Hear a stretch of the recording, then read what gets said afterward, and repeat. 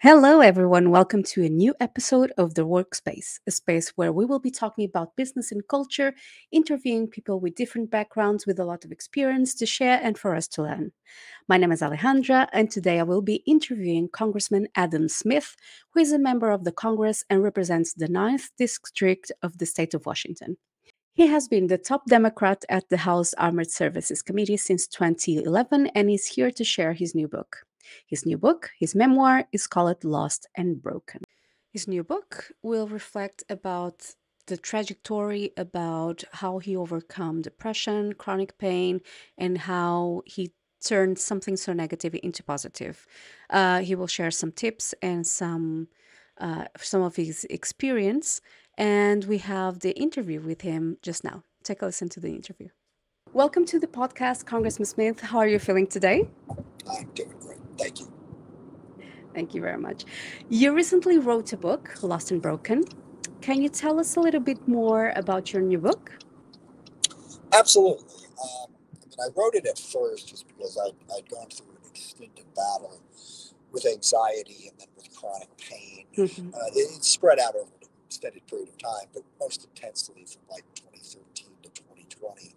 Um, and I wanted to sort of, well, I wanted to get a just sort of a chronicle in my mind of what happened and all that I'd gone through. But then as I was writing it, talking with people, a lot of people in this country suffer from mm-hmm. mental health issues, anxiety, depression. Certainly yes. there are you know many that have it very severe. But there's also, gosh, I mean, I would dare to say probably millions of people probably in America at one time or another go through some level of anxiety and depression um, that is mm-hmm. you know, mm-hmm. clinical mental illness. And then there's uh, so many other people who go through chronic pain.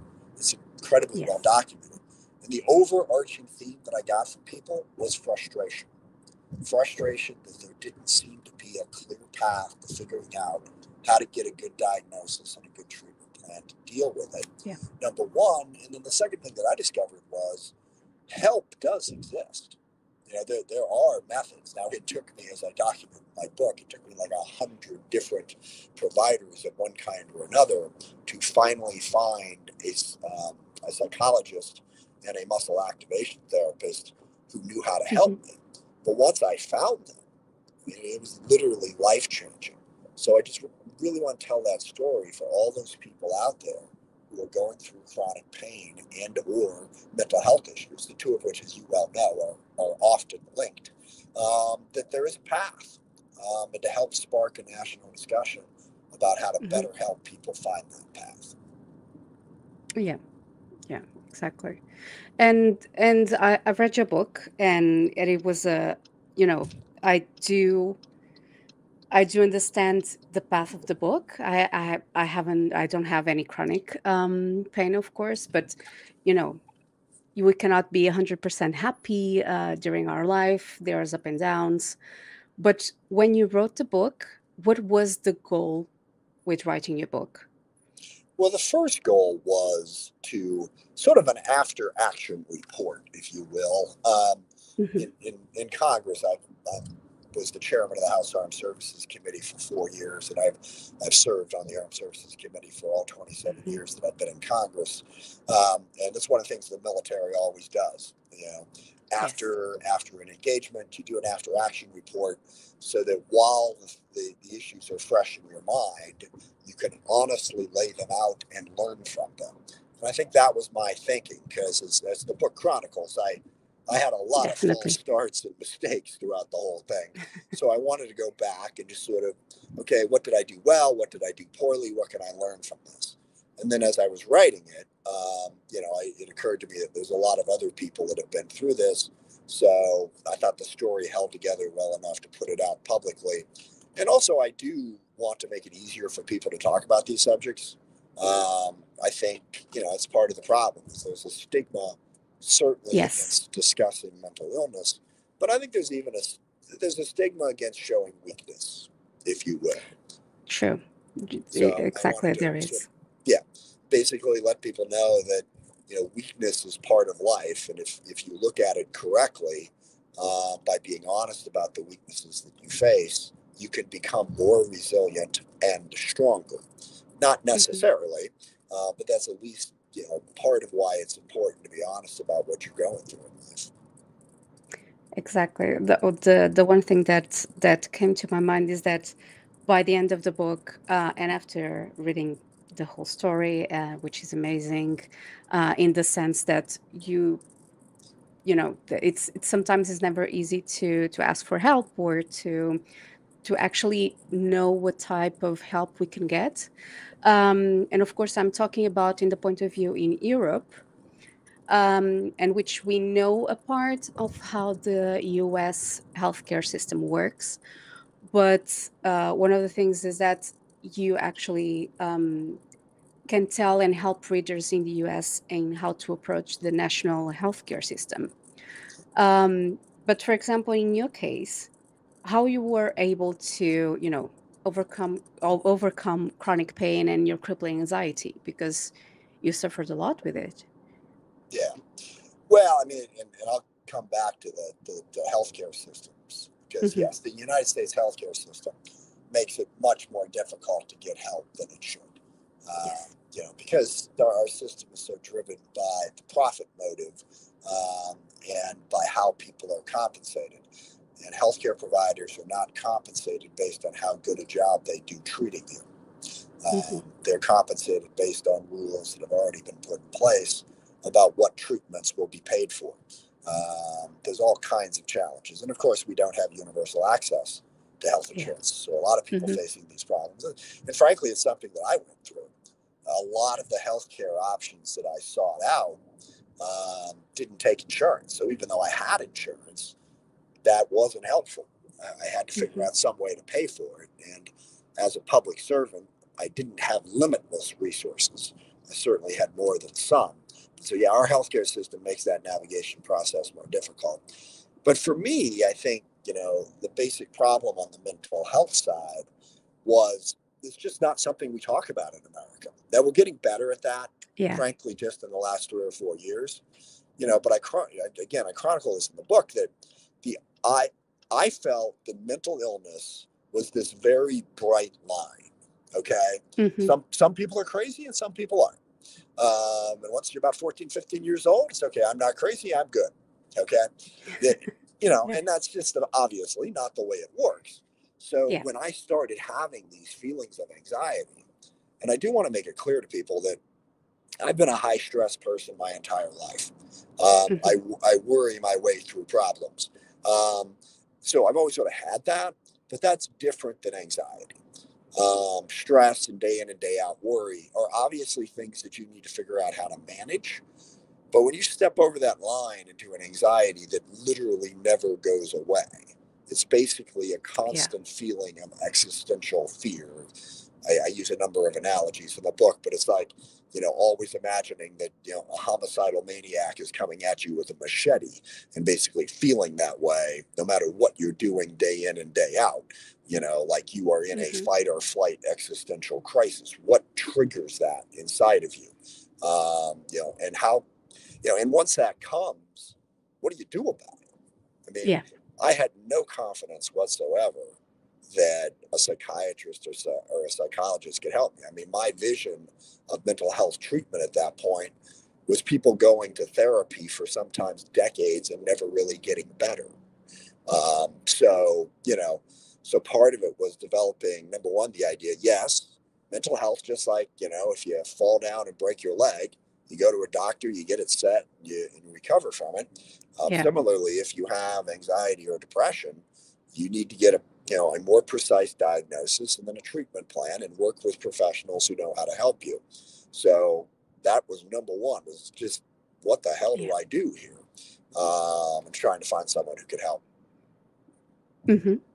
Exactly. So the the first step is always like I have I need help but then we have that that question that who am I going to ask for help? Um, there are people that don't know or or think that it is going to be you know very difficult to achieve that that help or to get that help. Um, but it, what tips did you get because th- this was uh, a bit of a journey for you? Um, and what tips can you give to people that you know how they they know about the first step but how can they apply for help what what do you think yeah they could well do first and it's it's it's different for me between the mental health side and, and the physical health side. Hmm um, so I'll, I'll i'll bifurcate those two things. I think on the mental health side the number one biggest tip tip i would give is um, don't go right to pharmaceutical options. Because I think that's one of the big problems we have in America right now is depression, anxiety, even things that get diagnosed with greater specificity like ADHD, you know, bipolar. yeah The American healthcare system, you know, its first answer is always here, take this drug. Um, and I, I would advise people to be more patient about that and get hmm just some good basic therapy help. And then, and this is going to take a minute or two, but there's a baseline of mental health that I think too many um, psychologists and psychiatrists don't give you. So, what, what does it mean to be mentally healthy in the first place? What's what's likely to be triggering that anxiety? And the baseline first piece of it that was not explained to me after even like 10 different psychologists, therapists, and psychiatrists is you have to have what psychologists refer to as a healthy narcissism, which is basically you have to believe in your own self-worth. And that sounds yeah a little sounds a little weird, new agey. Certainly it did to me, you know, yeah with my very basic blue collar up, upbringing. It's like, yeah, okay, whatever. But it's really important. And that develops usually in your childhood. Either yeah you are surrounded in a reasonably safe, loving environment or you're not. And a lot of different things can trigger a feeling that you just don't have fundamental self worth. And so you have to ask yourself that question. Yeah, this is the line that the psychologist who eventually helped me used on me when I first met with him. He gave me this incredibly long um, questionnaire to fill out, answering questions on a wide variety of subjects. But his conclusion from looking at my questionnaire was he said to me, you, you don't think you have a right to exist. And again, my yeah initial reaction to that was, oh, for God's sake, um, you know, what the hell is he talking about? You know, but he was right. You know, because of that pressure that I felt, you know, it put pressure yeah on me in every aspect of my life. Because if you don't think you have a fundamental self worth, then every second of every day you're trying to prove it. Okay. yeah And whatever it is that you decide you want to do with your life, you have to succeed. You know, you, you can't make mistakes uh, because it really is an existential crisis. So, understanding that basic self worth as a starting point. And then the second thing that I think we really struggle with in America is be honest with yourself about what you're worried about, about what's gone well, what hasn't gone well. Stuff from back in your childhood can really impact your mental health right now. Um, hmm and you have to have open, honest discussions about that and also about what's going on in your life right now. So I think having those conversations, psychotherapy basically, um, you know, and you have to be honest with yourself, acknowledge your self worth.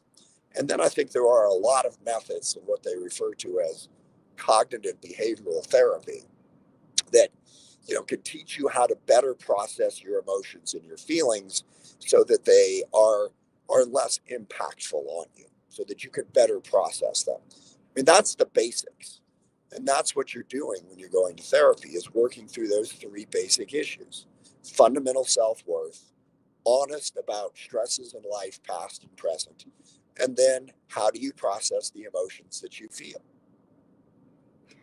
That is such a great tip. It's actually so positive.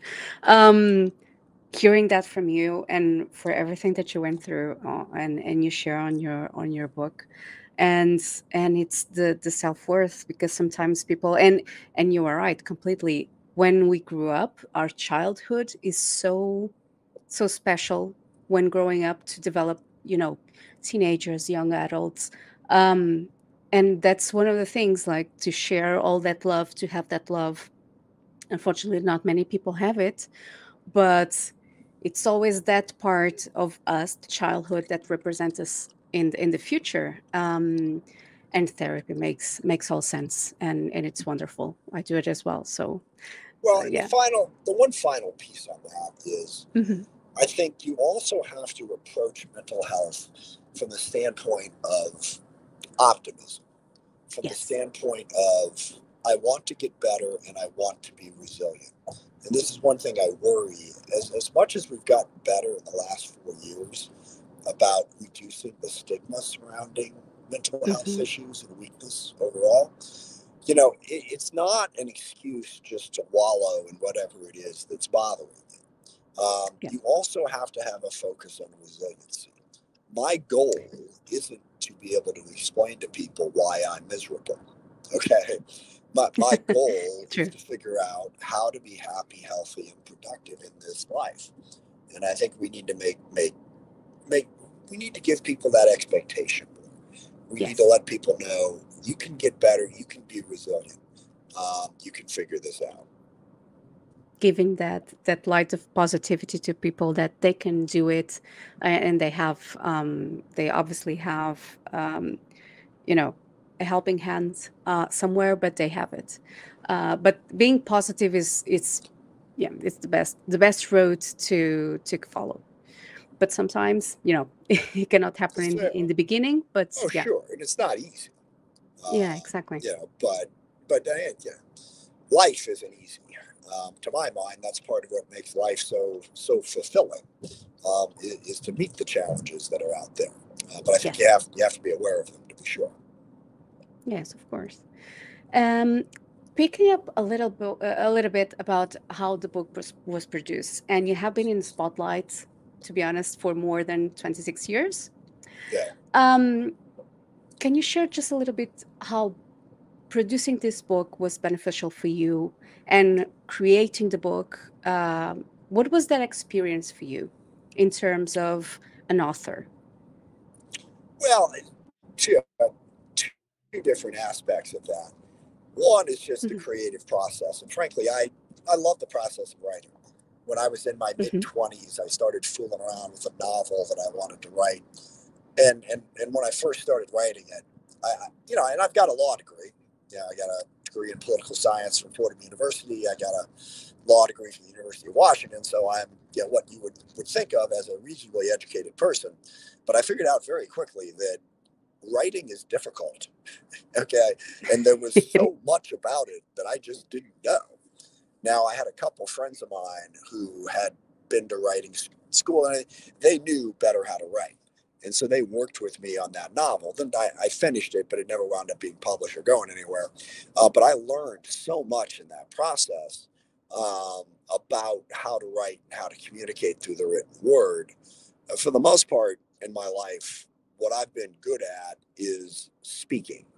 Um, I, I I communicate orally quite well, even if that sentence doesn't necessarily back up the claim. But um, I speak well. But writing is a different thing.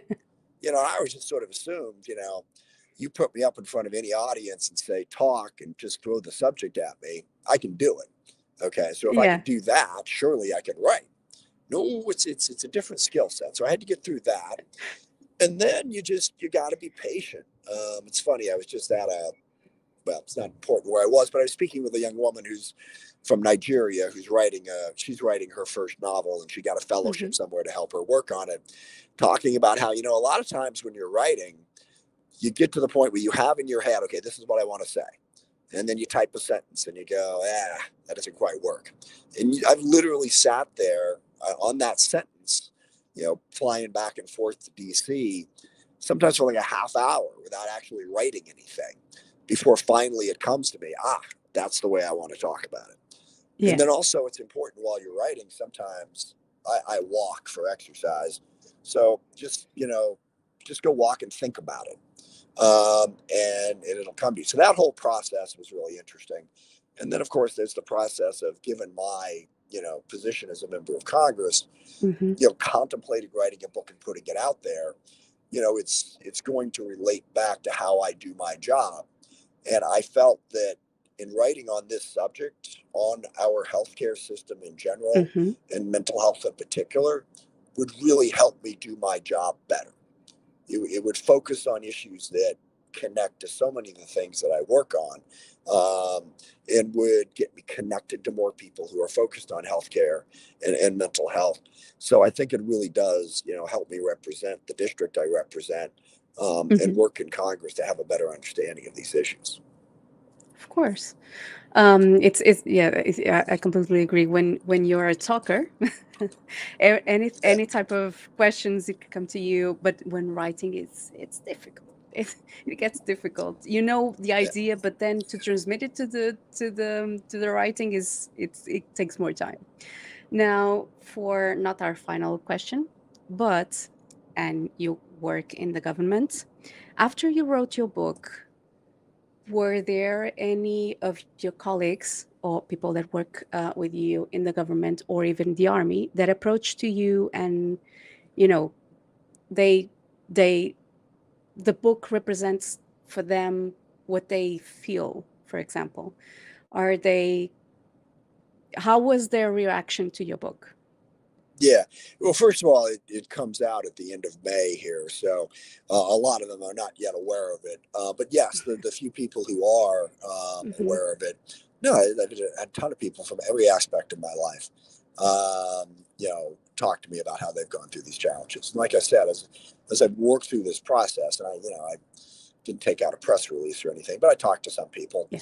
uh, throughout the whole process and really struck by the fact that chronic pain, mental illness, millions of people in America are impacted by this. And and a lot of times there were people that I knew reasonably well. And I never knew. Never knew they were dealing with yeah. that. Because it's just not something that you talk about. Um, stigma. Right. Yeah, it's stigma. And also you, are just sort of going about your life and you may notice, yeah. oh, you know, Bob seems a little off today. You know, what's going on? Yeah. And then that's it. You know, next day seems fine, so whatever.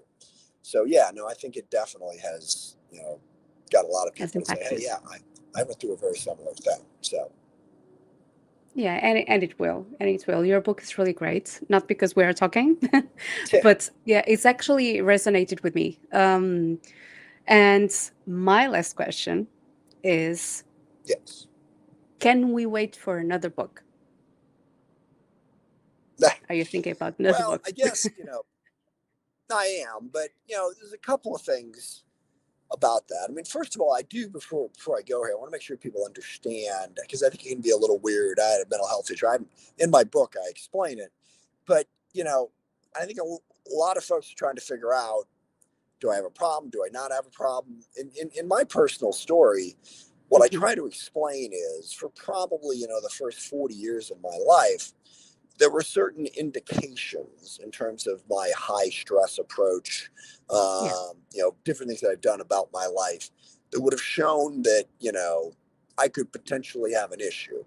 But I never had something that was overwhelmingly debilitating. I went about my life, and in some way, that feeling of existential threat and that desire to constantly prove myself sort of helped me to be successful in life.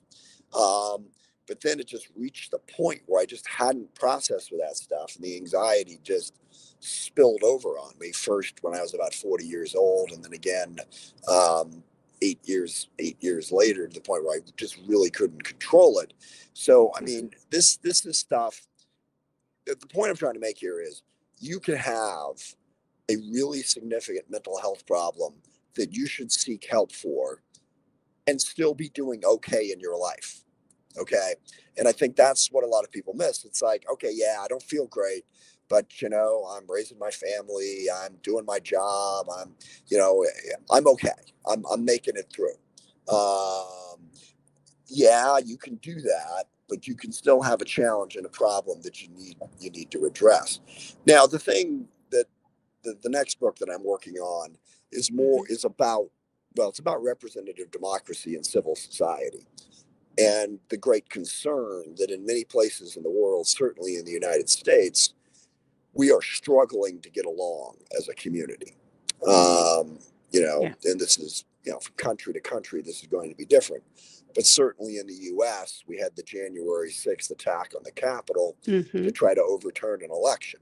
Civil society is fraying.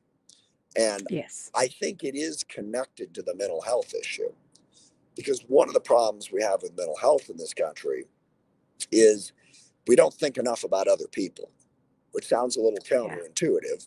Um, but you know, I said a healthy a healthy narcissism. Um, you don't want an unhealthy narcissism. So I want to write about how do you get along as a society? I mean, how does any group of people figure out how to resolve their differences peacefully? Whether you're talking about a family, a homeowners association, or an entire country. Okay. I don't mm-hmm. think we've dove deeply enough into the questions of how you balance your own individual wants and needs with the individual wants and needs of others and then with society as a whole. I think we've lost track of the basic necessity of finding that balance. And too often we're just focused on this is what I want. How do I get it? Definitely. Um, so I'm interested in how I can sort of intersect mental health with the broader health of civil society. Yeah, and definitely, definitely. I would like to read that. So I will be on the first position yeah. to at, get the, at the moment, at the moment, I'd like to write that. So I've Yeah. started, but I've started, but we'll see if I can pull that together. Well, uh, a couple of more walks and then you can start the book. Yes. Thank you very much, Congressman, for your time and to share your your ideas, which make all the sense, of course, such as your book. Um, and and yeah, it, it was a pleasure talking to you. Um, and and it was definitely a lot of tips and things that resonating with everyone that I think that they are going to love the book and hearing you.